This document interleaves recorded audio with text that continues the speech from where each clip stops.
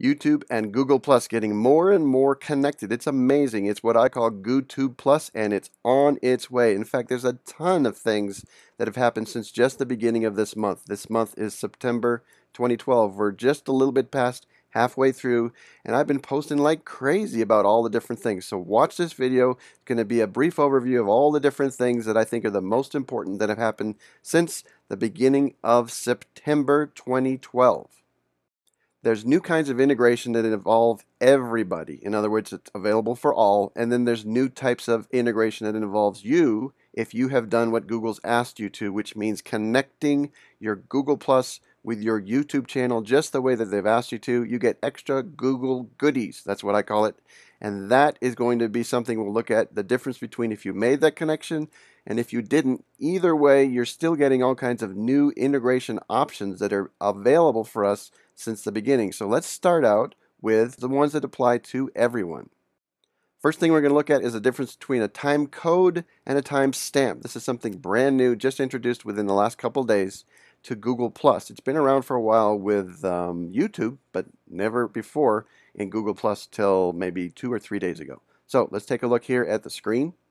And what I'm going to do is I'm going to go to my search environment inside Google Plus and I'm going to search for Seagull.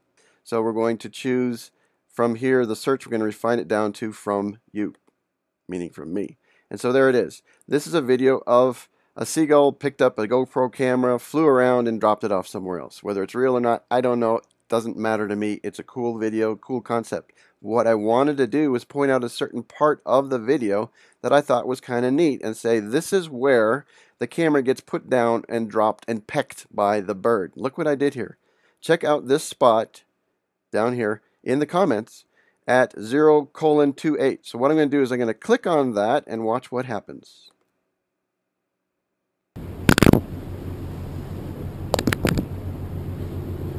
See that?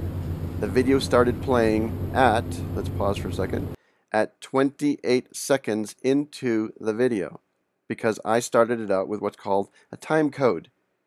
Okay, time codes are cool. You can add them in your main portion of your post or down here in the comments. You can even comment on other people's videos. Super cool, neat new feature. I've posted about it. Look through the video. I'll have links and all that stuff for all the different posts that I'm talking about. So what's the difference between a time code and a time stamp? Well, in the video that's part of a post, we can use what's called a time code. So right above it in the context of the main part of the post or down in your comment area, you can put in a code that when clicked, it will adjust and move that to that position in the video that's part of a post. Whereas a timestamp is more like what you're traditionally used to seeing inside Google Plus, and that is right near the name of the poster, just to the right of it, you're going to have what's called a timestamp.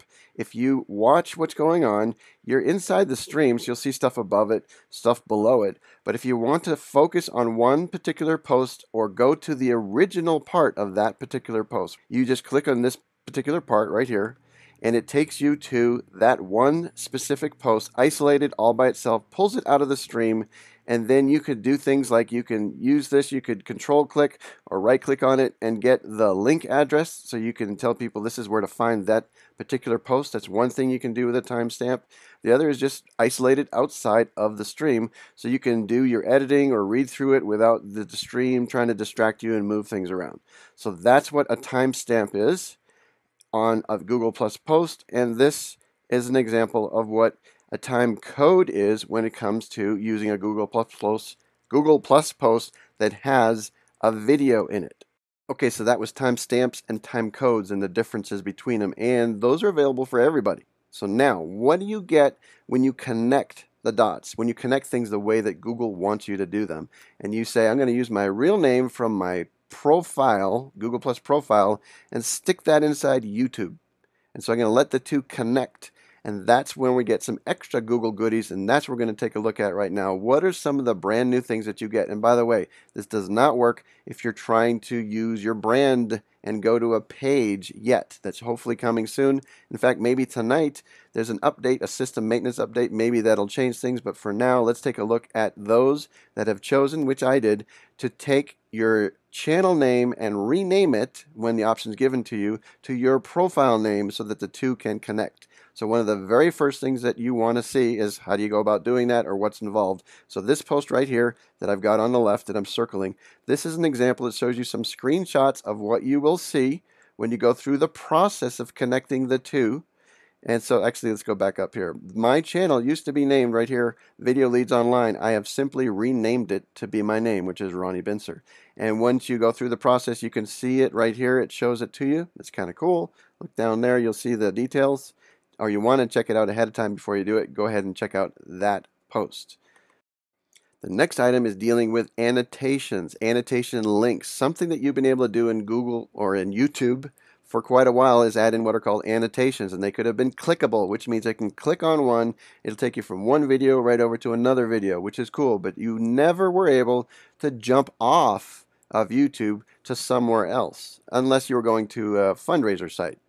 Okay, they've added that recently. Now, this is a cool Google goodie if you've made the connection. Now they are giving us the ability to link straight from a video, click on it, and jump right on over to, you got it, Google Plus, our Google Plus profile, and eventually our Google Plus page once they make that page kind of connection. Just a, a little caveat the options are there. The menu choices are there, but when you click on it, it's not working, at least not right now. Hopefully by the time you're watching this video or soon thereafter, the clicks will work and it'll jump you over from YouTube to Google+. Plus. In fact, I'm hoping that's one of the updates that they're doing tonight, and so by tomorrow, that would be the 18th of September, I hope it to be all working, but we'll see. I've started using it already, getting it ready for the next phase of GooTube Plus, the YouTube Google Plus integration. So that's a Google goodie. You're going to want to check out the article to see how it works. Next, private videos. That's right, private videos. So I'm going to change my screen here so you can see what I'm talking about. I made a post here that talks about the connection now you can have between Google Plus and YouTube and privacy. In fact, it brings in Gmail in the middle of it all, or some kind of an email program. So you can use the power of Google Plus to build your community, get a list of people in essence. You can make great, compelling content in your videos using YouTube. And then you can connect the two inside YouTube with a new feature that's added to the private video section. Now, that was stuff that when you take and connected the YouTube and Google Plus just the way that Google wants you to do, but the rest of the stuff we're going to talk about is something that applies to everyone, whether you've connected that or not. There we go. I made a post that is talking about how do you track your own comments that you did in other people's places, you know, other people's posts, or how do you track where other people have mentioned your name? Okay, so if you're trying to figure out who's talking about you, what they're talking about, where it is, and they're doing it in the public realm, you can use this search, and this is the process to go about doing it to figure out how to track all that stuff. It's one of my most popular, I think actually it's the most popular post I've made yet. I'm not all that famous yet, but I'm working on it. And this has been shared 241 times as of this moment. Um, and this was only posted a little more than a week ago. So it's doing pretty good as far as I'm concerned. I, I, like it. It's a great tip to help you figure out where all your comments are that are outside of your own posts, as well as all the mentions are of you inside Google Plus. So check that one out. Next, just as a reminder, in case you're new, you might be new to Google Plus. You might not be new to YouTube, but maybe you're new to Google Plus. You might be someone coming over from Facebook. Who knows? Welcome. If you're trying to figure out how to do all the stuff you need to do inside Google Plus, you want to feel comfortable here, know what's expected of you, check out this document right there. Once you've figured out how to interact well with Google Plus, another area you want to really focus on is adding hashtags to your posts or your comments. So check out this particular document. It's got all kinds of activity on it. Just go ahead and read it. It's a good overview. If you're into the concept of trying to figure out how do I search well within Google Plus and find the stuff that I'm looking for, it's a great idea to add hashtags to your stuff because you can find your stuff easier that way. And the more people that do it, the easier it is for everyone to find the stuff we're looking for inside Google Plus. Hashtags, great stuff. Check it out. Now, as promised, thanks for watching to the end, or hey, jump into this part. I don't know what you did, but here you are. This is the part where I talk about if you have made the best effort you can to get attention to people on, on Google Plus, and it's just not working for you, one of the things you need to do is connect with what are called influencers, people that have been successful in reaching out and building a crowd or an audience that follows them here's a tip to help you make a good connection with influencers, and that is realize that most influencers are doing Hangouts or Hangouts on air. Not all, but most of them. Find the ones that are that are in your space that you want to connect with. And here's a very, very powerful tip. Watch over here. What I'm suggesting is that you create basically a table of contents for their Hangout on Airs, the most recent stuff, or maybe even some of the old stuff, and then send it to them. Here, add in a little bit of an introduction text, you know, uh, a summary text of what's going on, add in this particular timestamp that is when that particular part starts. Here's another one. There's another one. You get the idea. Hopefully you can just type that in. It's based on this format.